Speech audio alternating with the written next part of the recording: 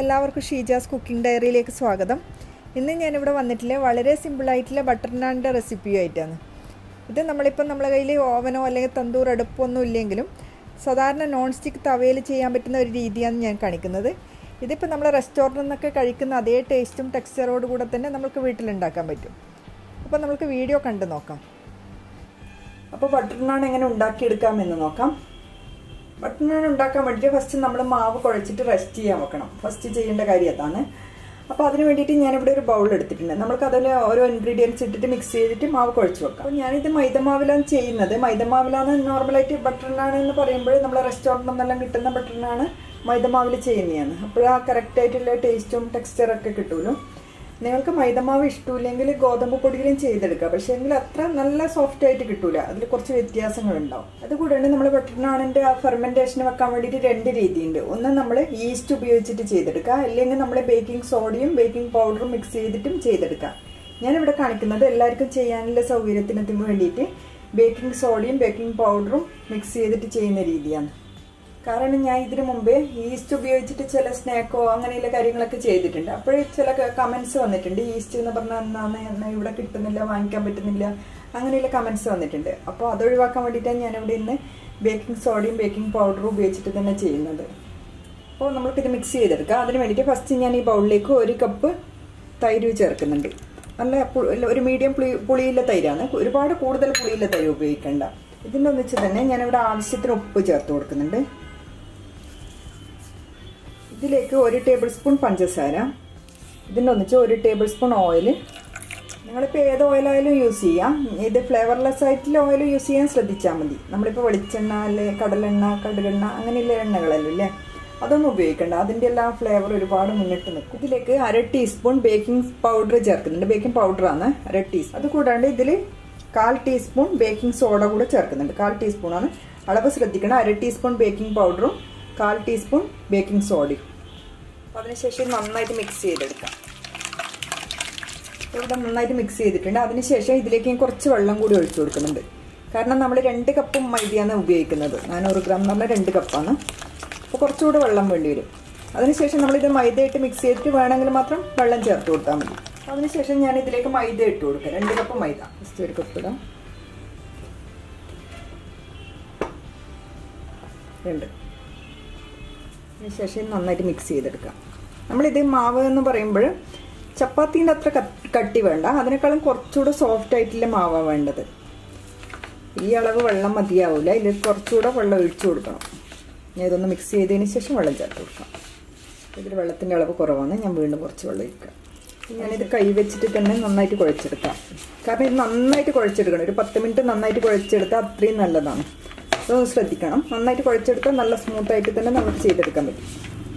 നമ്മളിപ്പോൾ ഫസ്റ്റ് ഇതുപോലെ കുഴക്കുമ്പോൾ ഇത്ര നല്ല സ്മൂത്തായിട്ട് കിട്ടൂല. നമ്മളിത് നന്നായിട്ട് കുഴക്കുന്നതിന് കണക്കായിട്ട് നല്ല സ്മൂത്തായിട്ട് തന്നെ വരും. കുറച്ച് ടൈം എടുത്തിട്ട് കുഴച്ചെടുക്കണം. ഞാനിതിപ്പോൾ കുറച്ച് സമയം നല്ലോണം ഇതുപോലെ കുഴച്ചെടുത്തിട്ട് ഇത് കണ്ട? ഇപ്പോൾ കയ്യിൽ അങ്ങനെ ഒട്ടിപ്പിടിക്കാണ്ട് ഫസ്റ്റ് നമ്മൾ കുഴക്കുമ്പോൾ നന്നായിട്ട് കയ്യിൽ ഒട്ടിപ്പിടിക്കുന്നുണ്ടായില്ലേ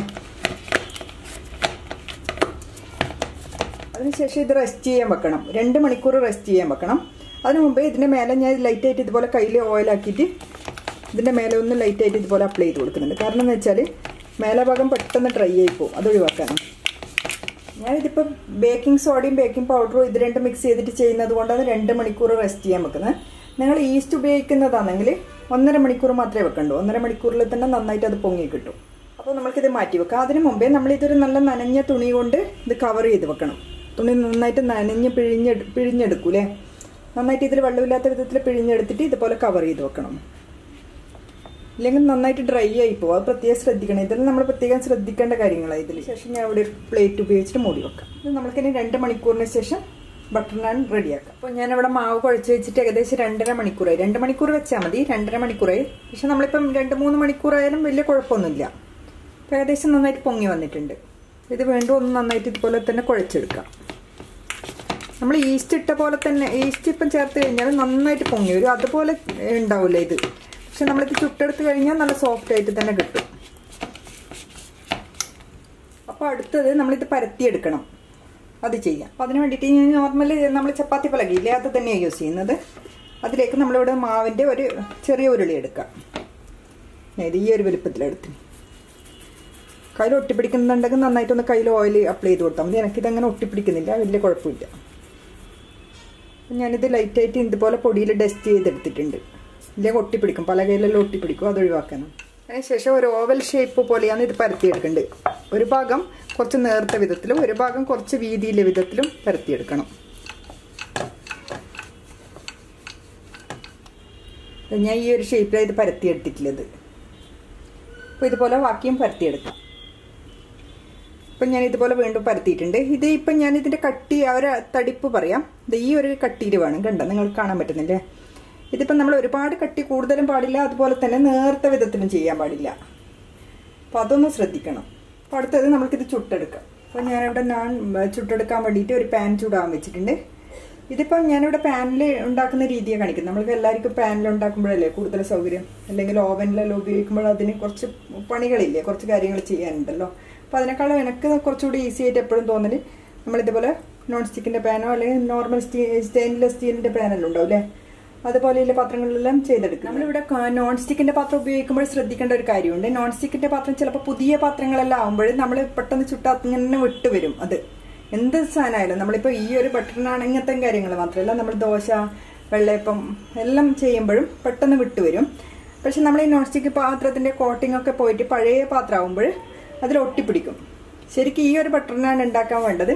നമ്മൾക്ക് കുറച്ച് പഴയ ഒരു നോൺ സ്റ്റിക്കിന്റെ പാത്രം വേണ്ടത്. കാരണം എന്ന് വെച്ചാൽ അത് ഒട്ടിപ്പിടിക്കണം. അപ്പോഴാണ് നല്ല കറക്റ്റായിട്ട് ചെയ്തെടുക്കാൻ പറ്റും ഇത് കാണിക്കുന്നത് കുറച്ച് പുതിയ പുതിയതെന്നല്ല ഇതിന്റെ കോട്ടിങ് കുറച്ച് നല്ല പെർഫെക്റ്റ് ആയിട്ട് നല്ല ഒന്ന് മോശമാവേണ്ടിയുള്ള കോട്ടിങ്ങിലെ പാത്രമാണ്. അതുകൂടാണ്ട് എന്റെ ഒരു പഴയ നോൺ സ്റ്റിക്കിന്റെ പാത്രമുണ്ട്. അതിൽ ചെയ്യും അതിലാണ് ഞാൻ നോർമലായിട്ട് ചെയ്തെടുക്കാറ്. പക്ഷെ എനിക്ക് അതിൽ ചെയ്യുമ്പോഴും നല്ല കറക്റ്റായിട്ട് വരാറുണ്ട്. പക്ഷെ ഇതൊരു പഴയ പാത്രമാണ്. അപ്പോൾ ഞാൻ രണ്ടിലും കാണിക്കാം. അപ്പോൾ ഫസ്റ്റ് നമ്മൾ പാൻ വെച്ചിട്ട് അത് നന്നായിട്ട് ചൂടാക്കണം. നല്ല നല്ല എത്ര മാക്സിമം ചൂടാക്കാൻ പറ്റും അത്രയും നല്ലോണം ചൂടാക്കി എടുക്കണം അതാ അത് മെയിൻ ശ്രദ്ധിക്കേണ്ടതാണ്. കാരണം എന്ന് വെച്ചാൽ ഇത് നമ്മൾ അതിൽ ഇടുമ്പോൾ നന്നായിട്ട് ഒട്ടിപ്പിടിക്കണം. അതിന് വേണ്ടിയിട്ടാണ്. അപ്പം ഞാനിവിടെ പരത്തി വെച്ച ഇതുപോലെ ഒരു ബട്ടർ നാണിന്റെ ഒരു ഇതെടുത്തിട്ടുണ്ട് അതിനുശേഷം ഇതിന്റെ മേൽഭാഗം കണ്ട് ഈ മേൽഭാഗത്ത് ഞാൻ വെള്ളം ഇതുപോലെ നന്നായിട്ട് ഇതുപോലെ സ്പ്രേ അപ്ലൈ ചെയ്ത് കൊടുക്കുന്നുണ്ട്. ഉള്ള എല്ലാ ഭാഗത്തും ഒരു സൈഡ് മാത്രം മേലെ ഭാഗം മാത്രം അടിവശത്ത് വെള്ളമൊന്നും ചേർക്കാക്കേണ്ട ആവശ്യമില്ല.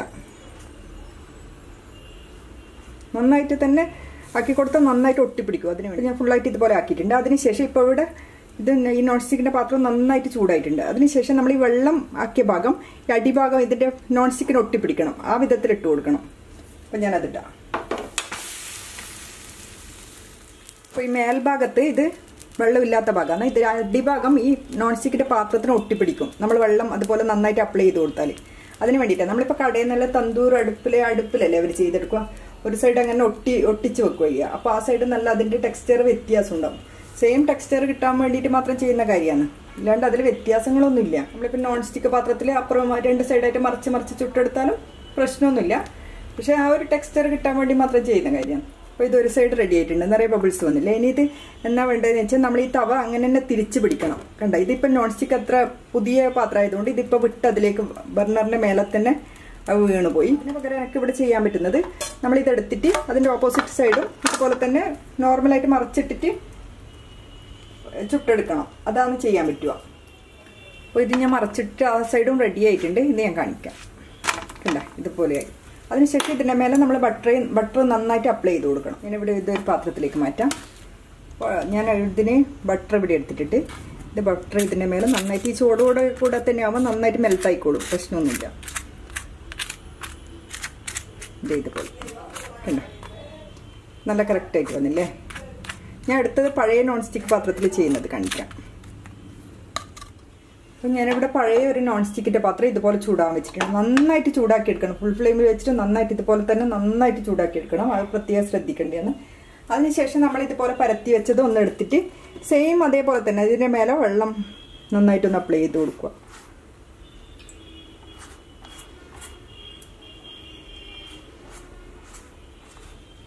ഞാൻ നന്നായിട്ട് വെള്ളം അപ്ലൈ ചെയ്തിട്ടുണ്ട്. അതിനുശേഷം നമ്മൾക്കിത് സെയിം അതേപോലെ തന്നെ ചുട്ടെടുക്കാം.